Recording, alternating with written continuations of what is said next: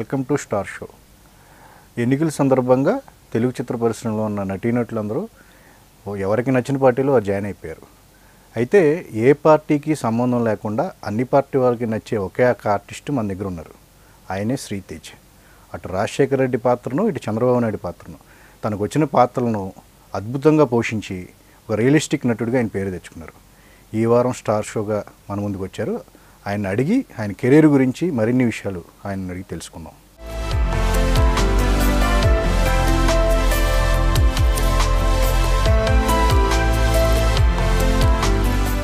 First of all congrats Sritej గారు. దాదాపు artist అంటే ఆర్టిస్ట్గా కాదు ఇండస్ట్రీలోకి వచ్చి ఆల్మోస్ట్ థర్టీన్ ఇయర్స్ అవుతుంది అని చెప్పేసి తెలిసింది. సక్సెస్ మీరు ఆశించిన సక్సెస్ ఇప్పుడు వచ్చినట్లేనా? చాలా వచ్చిందండి అసలు. మొన్న లాస్ట్ ఫ్రైడే ట్వంటీ నైన్త్ చాలామంది రాస్తారు కదా. ది ఫ్రైడే మ్యాన్ శ్రీతేజ్ అని రాశారు. Man of the day Sritej అని రాశారు. అది చూస్తే చాలా హ్యాపీ అనిపించింది అంటే ఇన్ని సంవత్సరాల నుంచి నేను ఉన్నాను. ఇన్ని సంవత్సరాల నుంచి వెయిట్ చేశాను అనేది నాకు అసలు కనిపించలేదండి అది. అంటే ఒక అసిస్టెంట్ డైరెక్టర్గా మీరు ఇండస్ట్రీలోకి అడుగుపెట్టి నటుడిగా అనూహ్యంగా నటుడు అయ్యారా లేకపోతే ఎట్లా అయ్యారు మీరు అసలు? యాక్చువల్గా యాక్టర్ అవ్వాలని ఇంట్రెస్ట్ అండి. అయితే బ్యాక్గ్రౌండ్ లేదు కదా. కాబట్టి ఇంకా వచ్చిన ఆపర్చునిటీ ఫ్రెండ్స్ ద్వారా కొంతమంది తెలిసిన వాళ్ళ ద్వారా నాకు అందులో ఆపర్చునిటీ వచ్చిందండి. సరే ఏడీగా వచ్చింది. ఇంకా ఏడీగా జాయిన్ అయ్యాను. అదే బ్యానర్లో మౌనరాగం మౌనరాగం కూడా చేశాను. ఆడవారి మాటలకు అర్థాలే వేరు అండ్ మౌనరాగం రెండు చేశాను. తర్వాత కాదండి సాయిదేవ ప్రొడక్షన్స్ శానం నాగేశ్వర కుమార్ గారు సాయిదేవ ప్రొడక్షన్స్ ఎన్వి ప్రసాద్ గారు. రెండు మూవీస్ చేశాను. ఆ తర్వాత కొన్ని గవర్నమెంట్ డాక్యుమెంటరీస్ చేశాను. శ్రీశైలం టెంపుల్ హిస్టరీ ఒకటి ఇంకా అలా ఆల్బమ్స్ ప్రైవేట్ ఆల్బమ్స్ అలా చేస్తున్న టైంలో నాసామి రంగానే ఒక మూవీ స్టార్ట్ చేస్తున్నారు. ఆయన వాళ్ళ సన్ అందులో యాక్ట్ చేశాడు. ఆడవారి మాటల కథలో పిల్లల్లో అలా ఆయన కూడా వచ్చేవాడు అనమాట అప్పుడు నన్ను ఫస్ట్ టైం చూసినప్పుడు నేను కనుక ఫ్యూచర్లో ప్రొడక్షన్ చేస్తే నేను నిన్ను హీరోగా చేస్తాను చేస్తావా అని అడిగాడు. యా షూర్ అన్నయ్య తప్పకుండా అన్న. సెవెన్ ఇయర్స్ తర్వాత గుర్తుపెట్టుకొని తను కాల్ చేశాడు. తమ్ముడు సినిమా స్టార్ట్ చేశాను వస్తావా? అన్నాడు. నేను ఏదైతే అనుకుంటున్నానో అది కరెక్ట్గా అక్కడ ఎంటర్ అయింది. వెళ్ళాను కథ అది చెప్పాడు ఓకే అనుకున్నా ఇంకా అది చేశాను. రిలీజ్ అయింది కానీ అంత హిట్ అవ్వలేదండి అది. ఒక హండ్రెడ్ థియేటర్స్ దాకా రిలీజ్ అయింది. ఆ తర్వాత ఇంకో రెండు మూవీస్ చేశా తీయని కలవను అండ్ కదలే బొమ్మల కథ అని. రిలీజ్ అయినాయి కానీ హిట్ అవ్వలేదు. హిట్ అయితే పేరు వస్తుంది బయటికి రాలేదు. దాని తర్వాత నేను దాదాపు ఒక సంవత్సరం పాటు ఖాళీగానే ఉన్నాను. ఇంకా ఖాళీగా ఉన్నా ఆ తర్వాత వచ్చిన ఆపర్చునిటీ వంగవీటి. దేవినేని పాత్ర వేసినప్పుడు ఒకటే అనిపించింది. అంటే ఎగ్జాక్ట్గా ఉన్నాడు దేవినేని నెహ్రూ గారు లాగానే ఉన్నాడు ఆర్టిస్ట్ అనుకున్నారు కానీ అంత ఐడెంటిఫికేషన్ లేదు ఫస్ట్ అంటే సో ఎట్లా అసలు వర్మ గారి కాంపౌండ్లోకి మీరు ఎలా రావటం జరిగింది ఫస్ట్? ఆ సినిమాకి నన్ను టూ థౌజండ్ సిక్స్టీన్ అనుకుంటాను. Two thousand sixteen first March twenty four ఆ టైంలో నేను విజయవాడలో ఉన్న కాల్ చేశారు. ఆఫీస్ నుంచి కాల్ చేసి ఇలా ఆర్జీవి గారి ప్రొడక్షన్ నుంచి కాల్ చేస్తున్నాను ఒకసారి ఆఫీస్కి రాగలరంటే ఇమీడియట్ నేను మార్నింగ్ నాకు మార్నింగ్ టెన్ ఆ టైంలో కాల్ చేశారు. నేను బయలుదేరి ఈవినింగ్ కల్లా వచ్చేసాను. వచ్చేసి ఇమీడియట్ వెళ్ళాను. వెళ్తే ఏ క్యారెక్టర్ ఏంటని చెప్పలేదు. ఫస్ట్ లుక్ టెస్ట్ చేశారు. లుక్ టెస్ట్ అంటే హెయిర్ అదంతా సెట్ చేసి డ్రెస్ వేసి వేసి అంత తర్వాత నాకు ఫొటోస్ చూపించారు. అంటే అలా అంటే చూ అబ్జర్వ్ చేస్తున్నారు అనమాట ఆ హెయిర్ స్టైల్ అన్ని సెట్ అయినాయి. తర్వాత నాకు ఫొటోస్ చూపించి ఆ బాడీ లాంగ్వేజ్ అది చెప్తున్నాడు. ఎవరు? అగస్త్య మంజు అన్న. దానికి ఆయన చీఫ్ అసోసియేట్. నాకు చెప్తున్నారు. నేను ఒక టూ మినిట్స్ టైం ఇవ్వండి నేను అది ఒకసారి చూసుకుంటాను. ఒక టూ మినిట్స్లో మొత్తం ఆ బాడీ లాంగ్వేజ్ ఎలా ఉందనేది చూసుకున్నా. బయటకు వచ్చి ఇంకా ఫోటోషూట్ చేశారు. ఫోటోషూట్ చేశారు. అది సేమ్ బాగా వచ్చినాయి. బాస్కి పంపిస్తే ఓకే అన్నారు. ఇప్పుడు రెండు రాష్ట్ర అభివృద్ధికి అంటే ఆంధ్రప్రదేశ్ రాష్ట్ర అభివృద్ధికి వైఎస్ రాజశేఖర రెడ్డి కృషి చేశారు. చంద్రబాబు నాయుడు కృషి చేశారు. అలాగే ఇప్పుడు నటుడుగా మీ పర్సనల్ నటుడు కెరీర్కి కూడా వాళ్ళిద్దరే సహకరించారని చెప్పేసి అనుకోవాలండి పరోక్షంగా. పరోక్షంగా అవునండి ప్రత్యక్షంగా. అవునవును అవునండి. రాష్ట్ర అభివృద్ధి చేశారు మీ కెరీర్కి కూడా వాళ్ళే సహాయపడ్డారు. ఆ, అవునండి. అంటే ఎట్లా రెండు వేరియేషన్లో రెండు సినిమాలు రెండు క్యారెక్టర్లు ఈ వేరియేషన్స్ వీటి వెనక ఉన్న హోంవర్క్ ఏంటి? మీరు ఎలా చేయగలిగారు? దానికి బేసిక్ నాకు పాయింట్ వంగవీటి అండి. నా టర్నింగ్ పాయింట్ ఏంటంటే లైఫ్లో వంగవీటి. అంటే అంతకుముందు వరకు ఇప్పుడు నేను తీయని కలవ సినిమా చేసినప్పుడు నేను సరిగ్గా చేయలేదని చెప్పి రివ్యూస్ రాశారండి. యా అంటే ఫస్ట్ టైం ఫీల్ అయ్యా. సెకండ్ టైం నేను రియలైజ్ ఏంటంటే నేను సరిగ్గా చేయలేదు కాబట్టి సరిగ్గా రా రాశారు. అంటే తప్పు నాలో ఉంది. అంటే నేను సరి చేసుకోవాల్సిన మిస్టేక్స్ చాలా ఉన్నాయి. అంటే నేను ఇంప్రూవ్ అవ్వాలి. నా ఇంప్రూవ్మెంట్ కోసమే అంటే మా పబ్లిక్ డొమైన్లో ఉన్నప్పుడు చెప్ వాళ్ళు చెప్పడం వల్లే ఎవరైతే రివ్యూస్ రాశారు జర్నలిస్టులు వాళ్ళు చెప్పడం వల్లే నాకు ఇంకా ఓకే నేను నా తప్పుల్ని చెప్పారు. నా తప్పులు చెప్పినప్పుడు తప్పులను సరి చేసుకోవాలి. బాగుండవు అందరూ చెప్తారు కానీ తప్పుల్ని ఎప్పుడైతే రివ్యూస్ రూపంలో చెప్పారో అవి నేను ఓకే అయితే నా తప్పులను సరి చేసుకోవాలని నేను తెలుగు యూనివర్సిటీలో బుక్స్ ఉంటాయి యాక్టింగ్ బుక్స్. ఆ బుక్స్ తెచ్చుకున్నానండి. ఆ బుక్స్ తెచ్చుకొని అంటే ఇంకా టైం ఉండేది కదా అంటే ఒకవేళ జాయిన్ అవుదామన్నా టైం లేదు. సరే బుక్స్ తెచ్చుకొని ఆ బుక్స్ నేను చదివాను. అసలు ఏంటి థీరీ ఏంటి అని చేస్తే దానికి ఒక థీరీ ఉంది యాక్టింగ్ అనే దానికి ఒక థీరీ ఉంది. ఇంకా బుక్స్ అన్నీ చదివాను. ఆ చదివిన బుక్స్ రిఫ్లెక్షన్ నాకు వంగవీటికి బాగా ఉపయోగపడింది. ఎందుకంటే రే రియలిస్టిక్ క్యారెక్టర్స్ చేస్తున్నప్పుడు మెజర్స్ ఉంటాయి క్యారెక్టర్స్. వాకింగ్ స్టైలు లేకపోతే హెయిర్ స్టైలు డ్రెస్సింగ్ స్టైలు నవ్వే స్టైలు కూర్చొని స్టైలు మాట్లాడే స్టైలు చేతిని చూపించే స్టైలు ఇలా రకరకాల వేరియేషన్స్ ఉంటాయి. అవన్నీ కూడా ఇంకా అప్పుడు బుక్ తీసుకొని నేను అప్పుడు చేస్తున్నప్పుడు వంగవీటి టైటిల్ నేను క్యారెక్టర్ చేస్తుంది దేవినేని నెహ్రూ గారు అని పెట్టుకొని ఇవన్నీ రాసుకుంటున్నాను అనమాట ఏమేం పాయింట్స్ అవసరం? ద బేసిక్ అవన్నీ కూడా ఈ ఎన్టీఆర్ బయోపిక్లో మాత్రం అన్ఎక్స్పెక్టెడ్ అంటే మీరు వైఎస్ రాజశేఖర రెడ్డి వేషం ఉంటుందని కానీ అది మీరు వేస్తారనేది కానీ చాలామంది ఊహించలే అంటే ఈ ఆఫర్ క్రిష్ గారు డైరెక్ట్ పిలవడం జరిగిందా? ఎట్లాగా మీ దానికి ఎలా జరిగింది? దానికి అసోసియేట్ నందు అని ఉన్నారండి. అప్పటికి చాలామందిని చూశారంట. కన్నడ తమిళ్ ఇలా చాలా చోట్ల తెలుగులో కూడా చాలామంది యాక్టర్స్ని చూశారంటండి. అయితే నాకు కాల్ చేసి రమ్మన్నారు. రమ్మన్నారు వచ్చాను. వచ్చిన తర్వాత లక్కీగా ఏంటనంటే నేను చాలా ఓల్డ్ లుక్ ట్రై చేద్దామని చెప్పి రెగ్యులర్ హెయిర్ స్టైల్స్ లేకపోతే ఈ హెయిర్ స్టైల్స్ ఉండొద్దని చెప్పి చాలా ఓల్డ్ లుక్ కోసం పక్కకు దువ్వి హెయిర్ పెరిగింది. కర్లు తిరిగింది మీసాలు కూడా ఇలా ఉన్నాయి. సేమ్ కొద్దిగా రౌద్రమైన మీసాలు క్లీన్ షేవింగ్తో ఉన్నా. సరే లొకేషన్కి వెళ్ళంగానే ఇంకా చూశారు క్రిష్ గారు చూసిన వెంటనే గన్ షాట్గా ఓకే అన్నారు. ఇమీడియట్గా లుక్ చూడంగానే బాగున్నాడు కరెక్ట్గా సెట్ అవుతాడు. ఏం చేశాడంటే ఇలా వంగవీటి చేశాడు అనగానే ఇంకా నమ్మకం వచ్చేసింది. అంటే వంగవీటిలో దేవినేని నెహ్రూ గారు క్యారెక్టర్ ప్లే చేశాడు. అంటే బాగా పోర్ట్రే చేయగలడు అనేది ఒకటి వాళ్ళకి కాన్ఫిడెన్స్ ఉందండి. ఆ పాత్ర వరకు ఒక డైలాగ్ డెలివరీ అనేది కొంచెం మెయింటైన్ చేయడం జరిగింది రాజశేఖర రెడ్డి గారు. అంటే మిగతా ఆహార్యం కానీ అంటే పంచికట్టు ఉంది అంతే బట్ ఈ చంద్రబాబు నాయుడు క్యారెక్టర్కి మాత్రం మీరు అందులో కూడా అంటే పాత్ర పరిధి తక్కువ కదండి. ఇప్పుడు కథానాయకుల్లో రెండు సీన్సే ఉన్నాయి. తర్వాత మహానాయకుల్లో ఒక సిక్స్ సీన్స్ ఉన్నాయి. కానీ పరిధి తక్కువ. ఉన్న సీన్స్ అన్నీ కొద్ది కొద్దిసేపే. అంటే ఇంత లెంత్ కాదు కదండి. ఒక క్యారెక్టర్ని నడిపించే అంత కాదు. ఎందుకంటే అది ఎన్టీఆర్ గారి మీద బేస్ అయిన సినిమా. దాంట్లో ఈ క్యారెక్టర్ పరిధి తక్కువ. దాంట్లో వాకింగ్ చూపించడానికి లేదు నాకు. ఒక కూర్చోవడం ఆ, ఒక డైలాగ్ డెలివరీ కానీ లేకపోతే హ్యాండ్ మూమెంట్స్ కానీ లేకపోతే అధ్యక్ష అనేది దొరికింది. నాకు దొరికిన చిన్నవి కూడా. అక్కడ కూడా ఒక కరెక్ట్గా ఉండాలని మ్యాక్సిమం ట్రై చేశానండి. మెయిన్ చంద్రబాబు నాయుడు గారి క్యారెక్టరు దీనికి కూడా చాలా మందిని ట్రై చేశారు చాలా మందిని అనుకున్నారు. అంటే అనూహ్యంగా వంగవీటికి వచ్చినట్టే వేషం వేసి ఒకసారి చూపించమన్నారు అన్నట్టుగా తెలిసింది. అంటే వర్మ గారి డైరెక్ట్ అగస్త్య అడిగినట్టున్నారు. అంటే దీనికి నెంబర్ ఆఫ్ క్యారెక్టర్స్ ఇవి వేయడం జరిగిందా? మేకప్ కానీ అట్లా టీటింగ్ కానీ. అంటే డిసెంబర్ సిక్స్త్ నాకు ఫోన్ చేశారండి. ఆ రోజు ఫోన్ చేసి మెసేజ్ చేశాడు మంజు అన్న.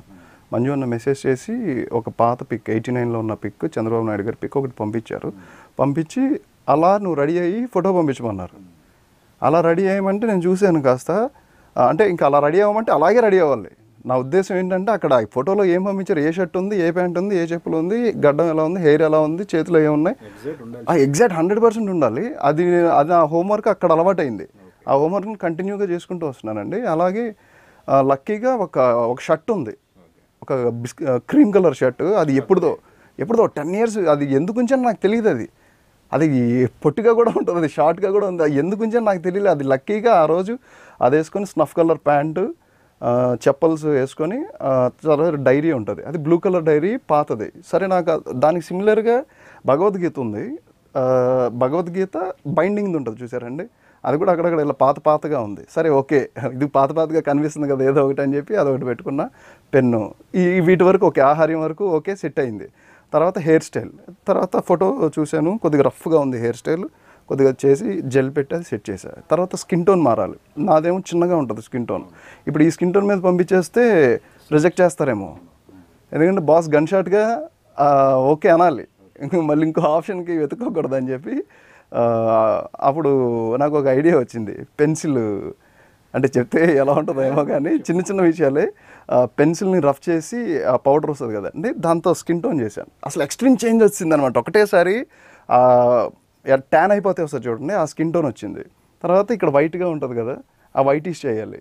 దానికి కోల్గేట్ పేస్ట్ ఉంటే ఆ పేస్ట్ తీసుకుని చిన్న చిన్న థింగ్సే నాకు ఒక గ్రేట్ అచీవ్మెంట్కి తీసుకొచ్చినాయండి.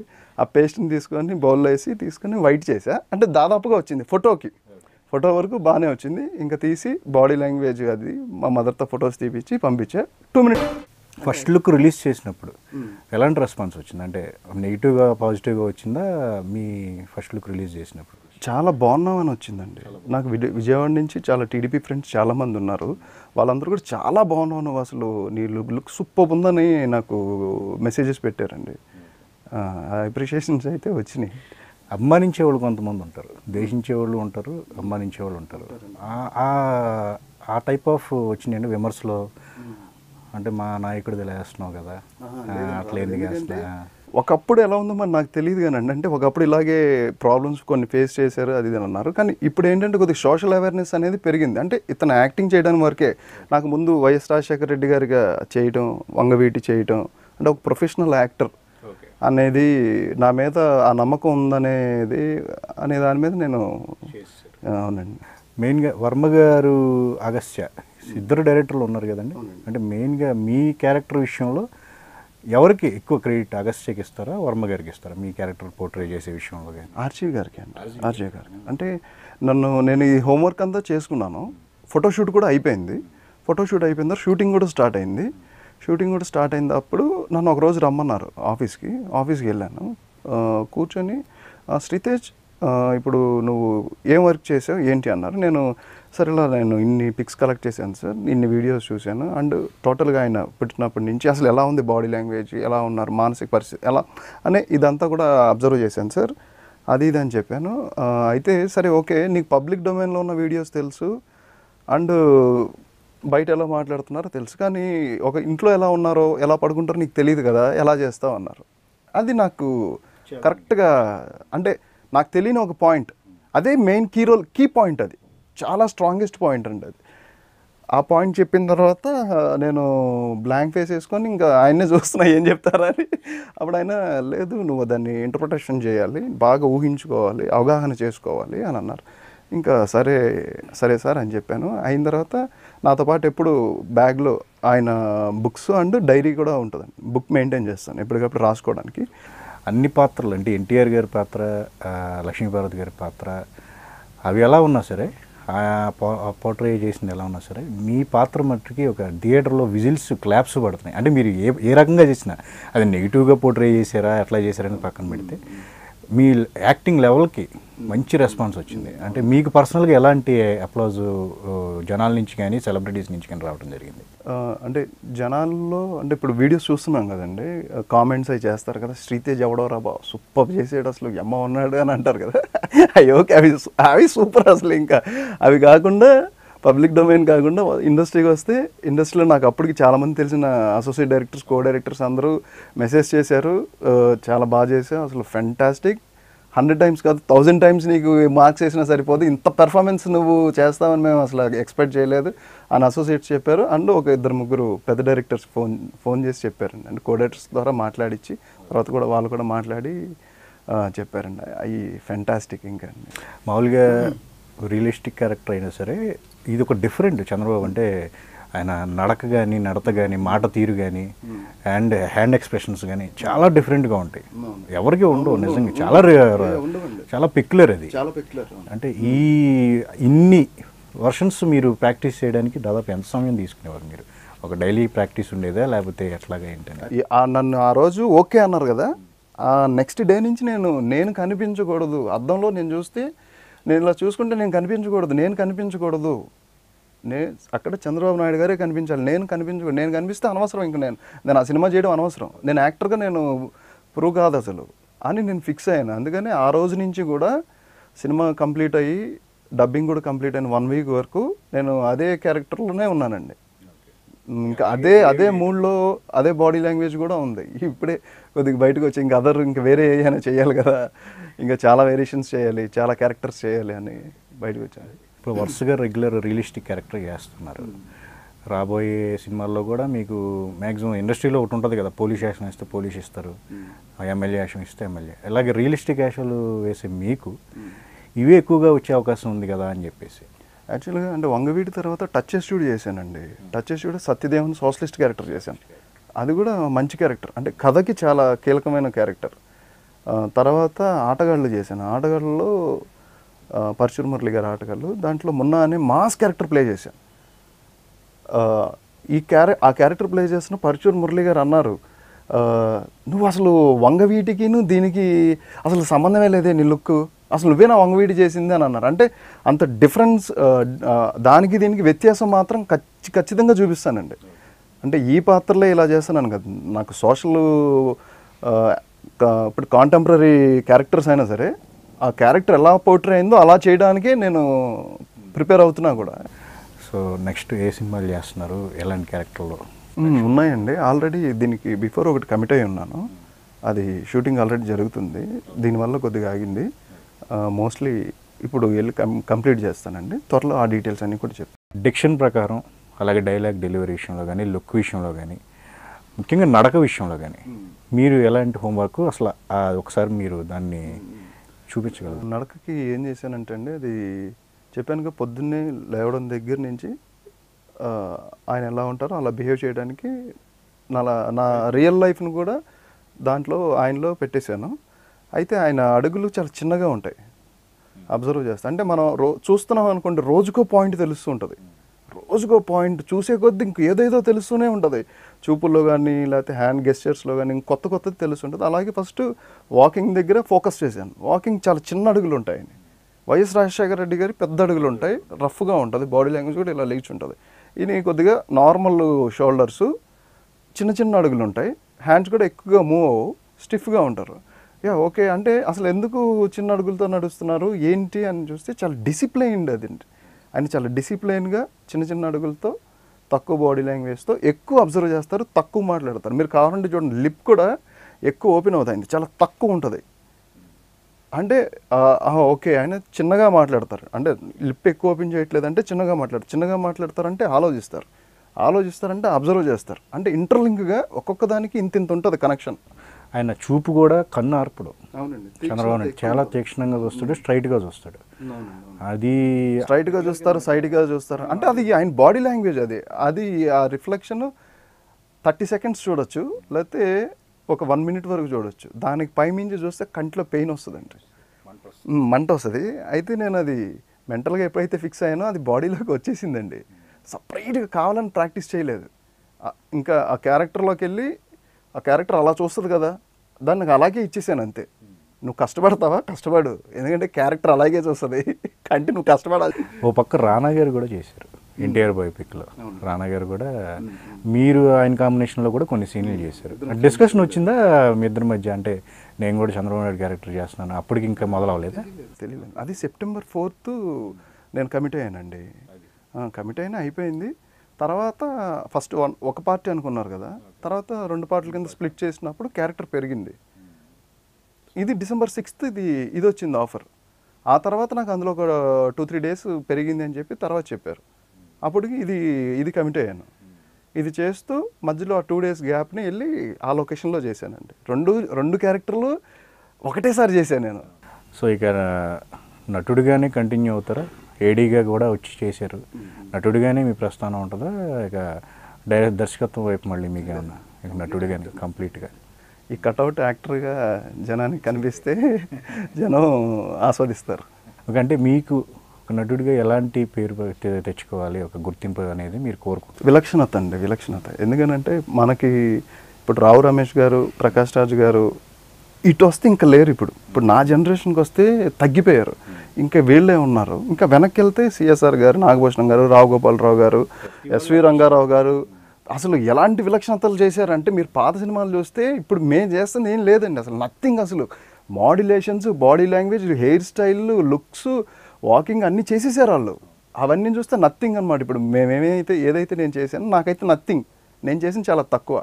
అలాగే ఇప్పుడు బాలీవుడ్లో చూస్తే నసిరుద్దీన్ షా గారు లేకపోతే ఇర్ ఓంపూరి ఓం పూరి గారు అమరీష్ పూరి గారు ఇంకా తర్వాత ఇర్ఫాన్ ఖాన్. ఇప్పుడు ఈ తరంగా తెలిసిన ఇర్ఫాన్ ఖాన్ తర్వాత నవాజ్ నవాజుద్దీన్ సిద్దికి మనోజ్ బాజ్పేయి గారు. మరి వీళ్ళందరూ కూడా చాలా స్ట్రాంగ్ విలక్షణత ఎక్కువ చేస్తారు క్యారెక్టర్ క్యారెక్టర్కి ఇప్పుడు సత్యాలో ఒకలా చేశారు మనోజ్ బాజ్పేయి. బాడీ రఫ్గా చేశారు. తర్వాత మనకి ప్రేమకథ ప్రేమ కథ చిత్రంలో వేరేలా ఉంది. ఆర్జీవి గారి రెండు సినిమాలు.